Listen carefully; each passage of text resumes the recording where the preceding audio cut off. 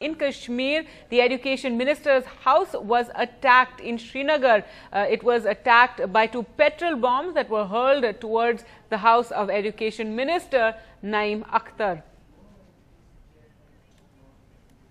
However, uh, the good news is no one was hurt. Uh, this is uh, coming after several leaders have been targeted uh, ever since the tensions have begun in Jammu and Kashmir. Police sources have said that the two bombs were thrown at the house last night. One fell in the compound and one outside and there was no injury as no one was at in that house at that moment. The minister currently lives in an official bungalow in the high security Gupkar Road uh, in Srinagar.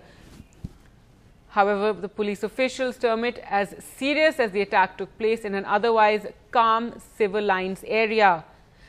Remember, Kashmir has been witnessing turmoil for 24 days now, in which 55 people have been killed so far, and curfew has been placed in most of the areas. Well, let's go across to Nazir for more. And Nazir, once again, a leader, and this time the education minister being targeted. Yeah, Naeem Akhtar is actually face of the government, and he has been, he's all actually government spokesman. Um, and a senior PDP leader, his house in the civil lines area, which is relatively calm, peaceful, while we don't see any protests or clash. That house been attacked by, by uh, according to police, miscreants, and they lobbed two uh, you know, petrol bombs uh, towards the house and the house has suffered minor damage and police said no one was injured in the incident. Uh, Mr. Akhtar, Naeem Akhtar is living in an official residence in Gupkar Road. He was not present at the house when, when it was attacked, but it is really an alarming trend the way mainstream politicians, particularly uh, associated with the ruling party PDP, are being targeted.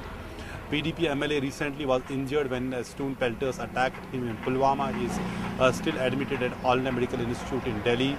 Another PDP MLA's house at hotel that was set on fire uh, this uh, in Kokarnag. Day before yesterday, a national conference leader in Anantnag, uh, Iftikhar Misgar, he announced to, you know, uh, that he is renouncing mainstream politics and joining separatism. Later on, he said he is quitting the all politics of all shades because the way uh, people have been treated, people have been killed and injured, blinded all these all these days for last over three weeks. So clearly, this this, this situation is taking its toll on mainstream politics and uh, people associated with the ruling party are bearing the brunt. So it is a challenge for the government, it is a challenge for the police how to deal with this situation while the police sources say adequate security has been made for all the mainstream politicians but these people are really facing the pressure and attack on Naeem Akhtar's house is a challenge for the government and the mainstream politics.